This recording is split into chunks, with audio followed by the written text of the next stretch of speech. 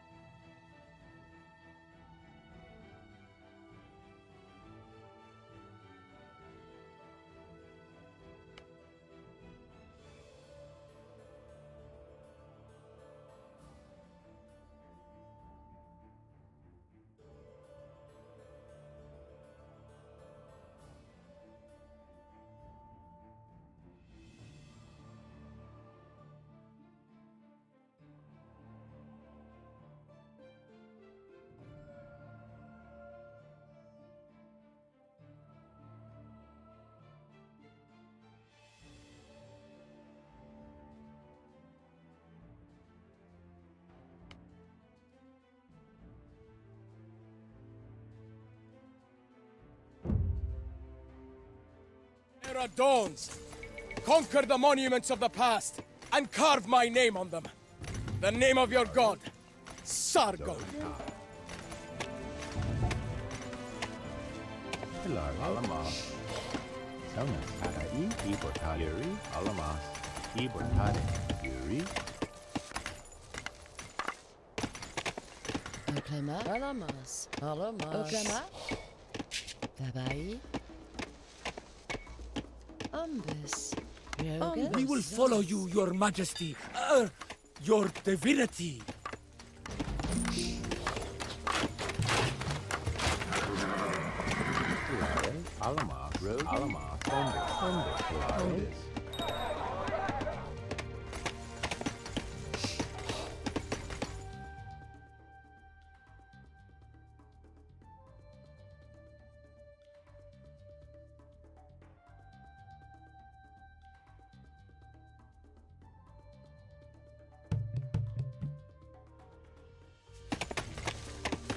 Saray. Alamaz. 11. Alamaz. Alamaz. Alamaz.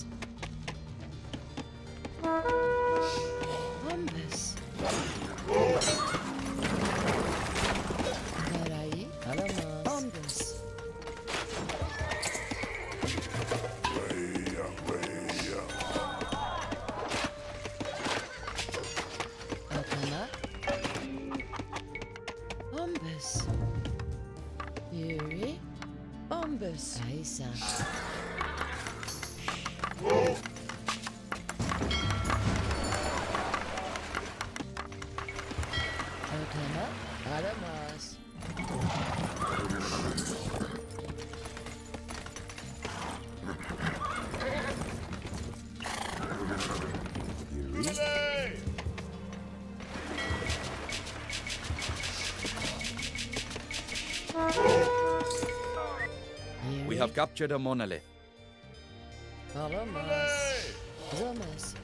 I deeply regret having to bring your divinity bad news. But soldiers from our very own ranks are revolting and have taken control of some villages. We have captured a monolith.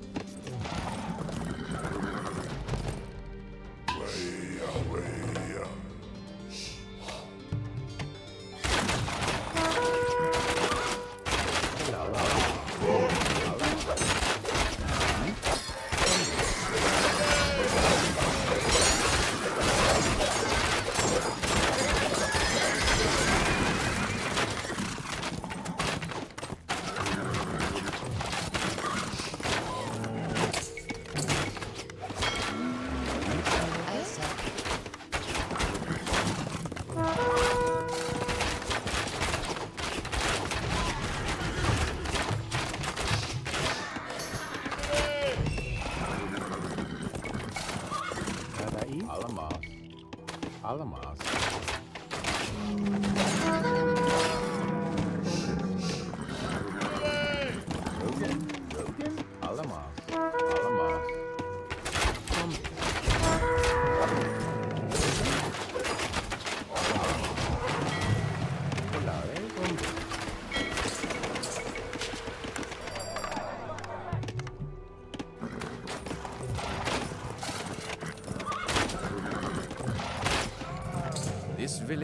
Longer cause us any difficulties and will stand by our side faithfully again.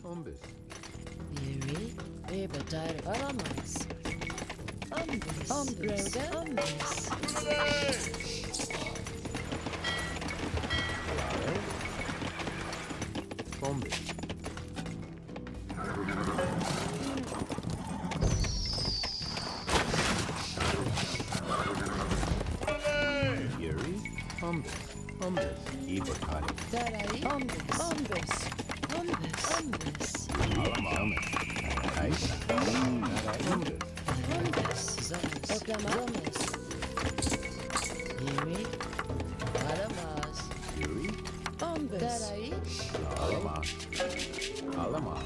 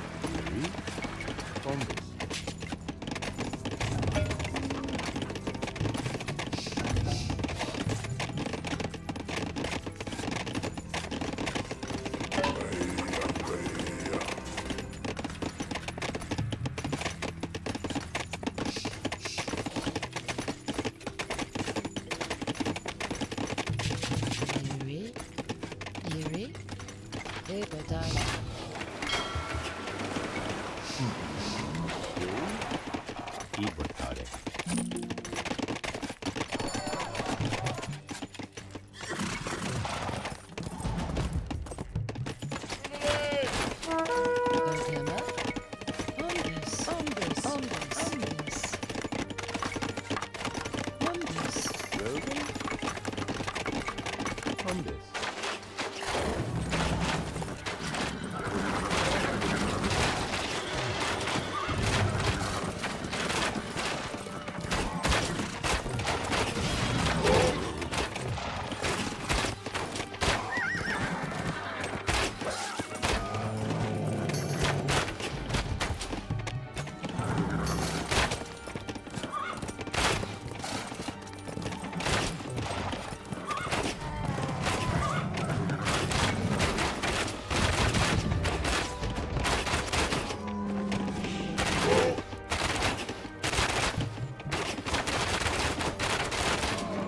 Another village is ours again. In gratitude, its residents kneel in the dust to pay homage to Sargon.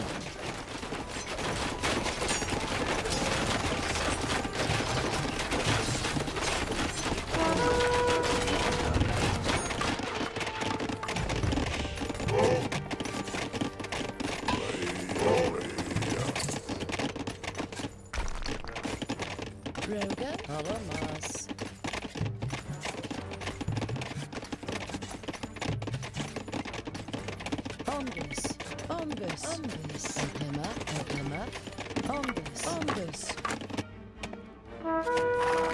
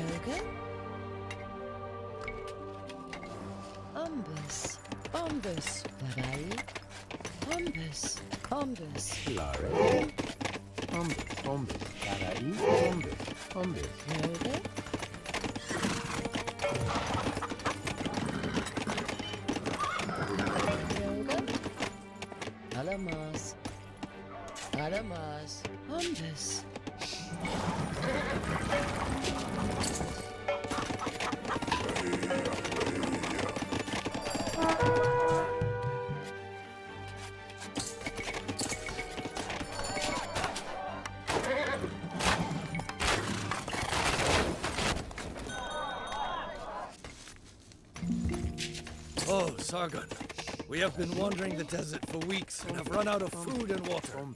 Feed us, and we will make you our lord. This village will no longer cause us any difficulties and will stand by our side faithfully again.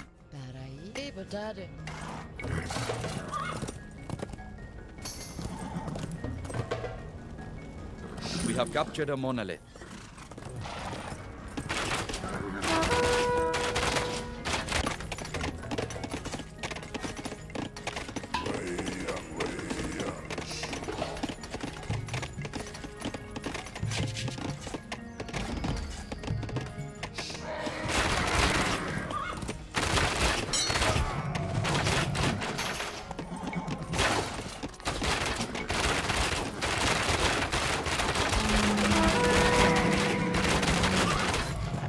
Village is ours again.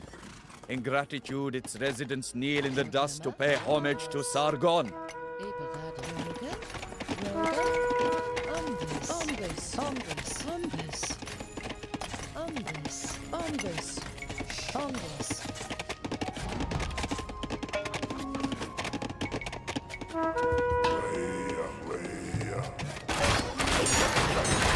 Enough of this megalomania! We will no longer accept your self-deification, Sargon, as you bring great misfortune upon us. Ah, ah. You little profane fools. Soldiers, slay the wicked Hurrians who dare to sully the name of their god. Pilare, Rogan, Alamas, Umbus. Darayiri. Alamas. Umbus. Umbus.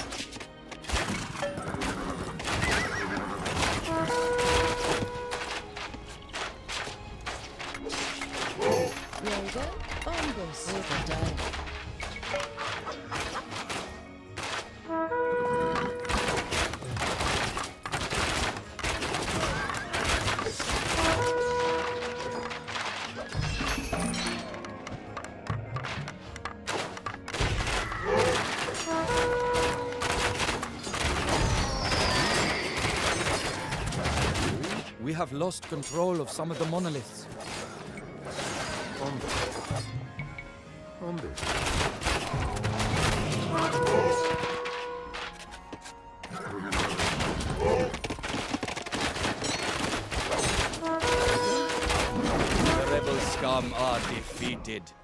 Their unwillingness to accept their fate.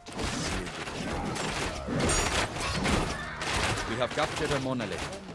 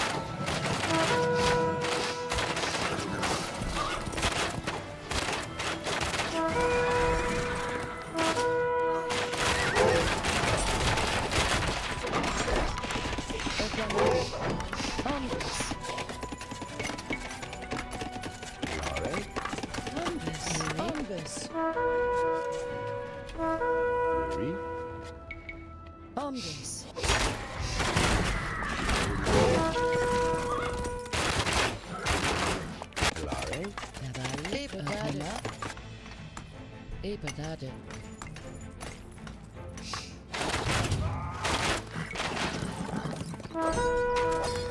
Darai. Rogan, Alamas, Umbus. Darai. Umbus. Alamas. We have lost control of some of the monoliths. Pilare, Rai, Umbus. Ibotare, Rogan, Darai. Obadiah. Obadiah.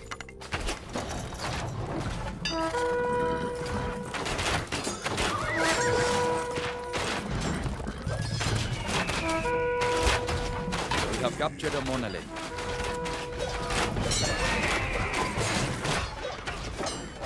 Mighty Sargon, we beg you, hear us.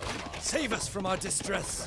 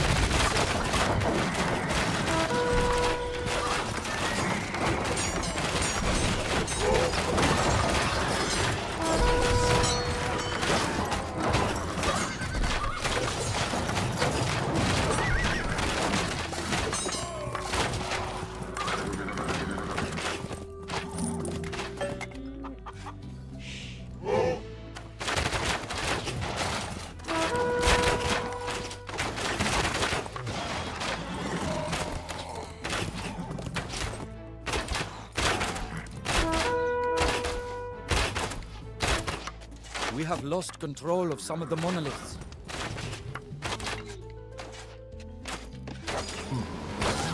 Rogan? Bombis. Somas.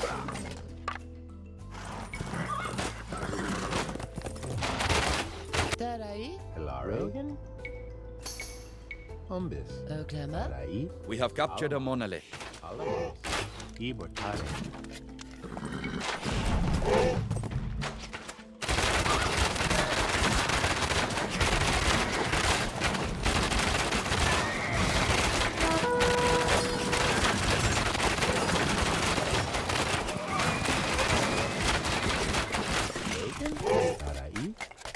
Have lost control of some of the monoliths.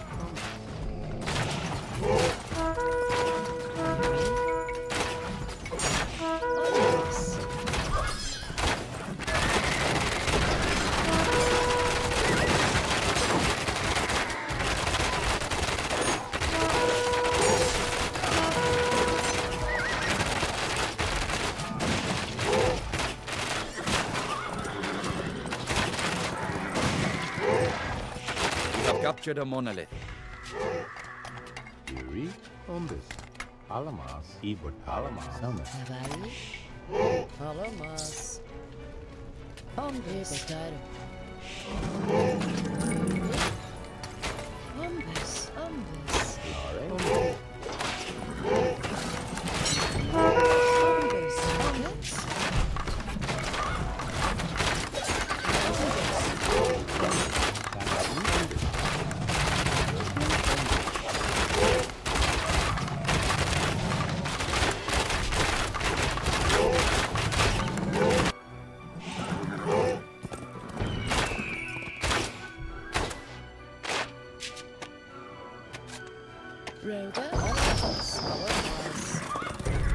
Captured a monolith.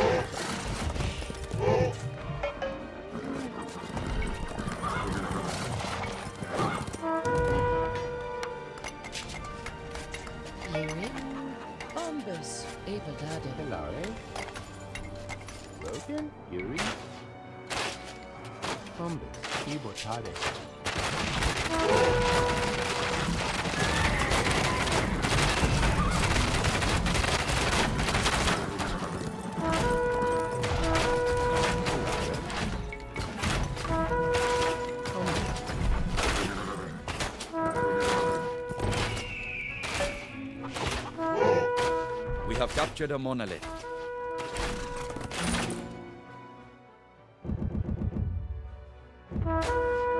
We will never forget your mercy, Sargon. Anyone who besmirches your name will be held accountable by us.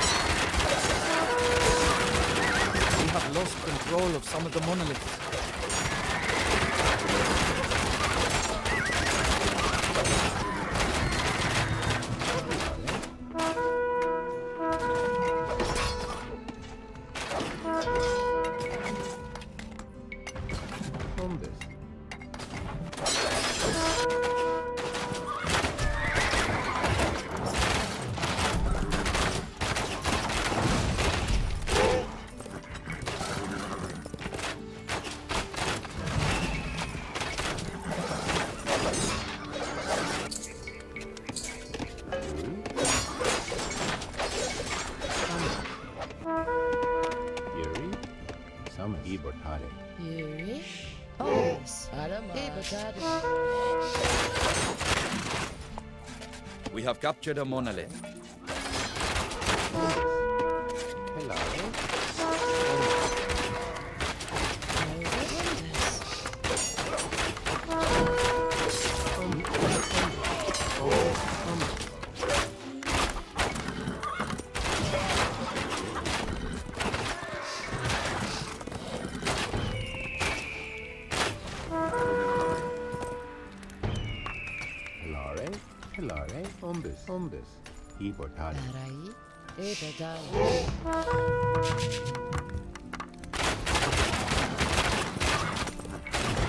We have lost control of some of the monoliths. We have captured a monolith.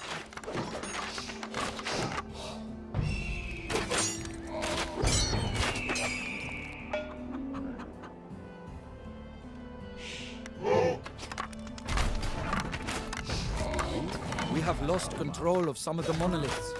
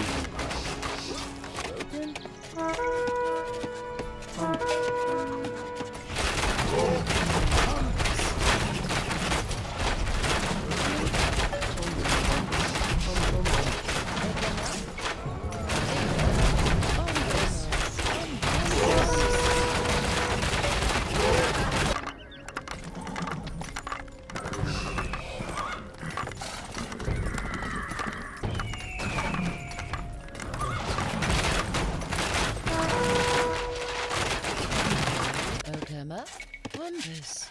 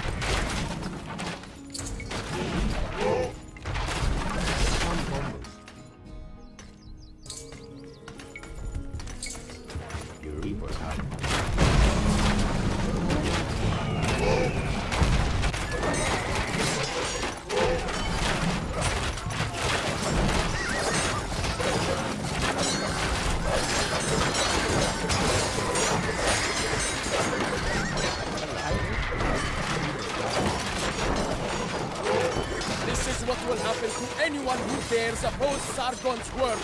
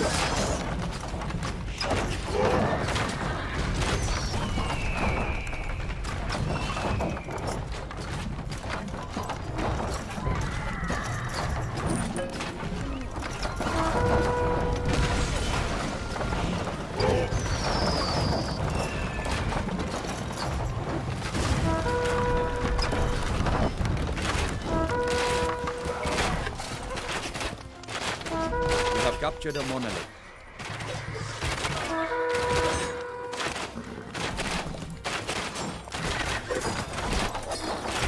We have lost control of some of the monoliths.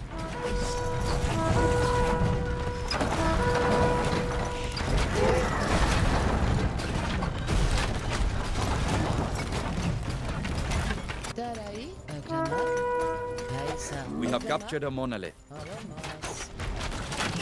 Oh,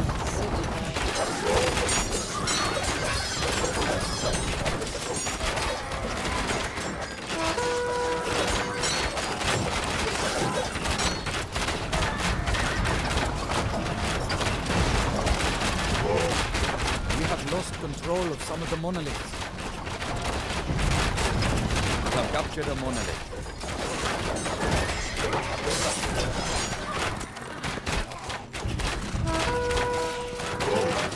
We have captured a monolith. Mesopotamia is not enough. The divine realm of Sargon will continue to grow. I shall walk the ruins of Subartu, and its people will kneel before me. We have lost control of some of the monoliths. Can a mortal being of flesh and blood become a god? The answer is no. No matter how much power a man attains, anyone who towers too far above others is doomed to fall in the end. Sargon was the king of kings, the most powerful man that had ever walked the earth. His empire, the first that mankind had ever seen. In the temples, Sargon had replaced the statues of the gods with statues of himself. And now, truly believed that he was divine. Yet I had seen him bleed. I sought him out after the sack of Subartu, only to find him standing atop a mountain of gold and corpses, precious stones passing through his fingers. He did not listen when I told him that this madness had to end. Once, I left my sword in its scabbard to spare the man who would be my king. But things were different this time. This was no man standing in front of me, no deity. It was an evil demon from the underworld, striding the earth to claim the souls of the innocent. I then remembered the prophetic words The blood of the innocent will be paid for by the blood of the one. I plunged my blade deep into Sargon's chest. As he stared at me with wide eyes, a strange, wicked smile appeared on his face. Even in the face of death, Sargon never ceased believing in his own immortality. I have no such delusions. As old age withers my once supple frame, I welcome the journey to the afterlife, satisfied that no more innocent blood will be spilled in the name of this false god. Yet, I fear Sargon's legacy. The vices of power and a desire for divinity can inspire grim changes in even the most noble of men. I can only pray that for every haughty Sargon, there will be a humble Ushar, guided not by delusions of grandeur, but by a simple conscience of what is right and what is wrong.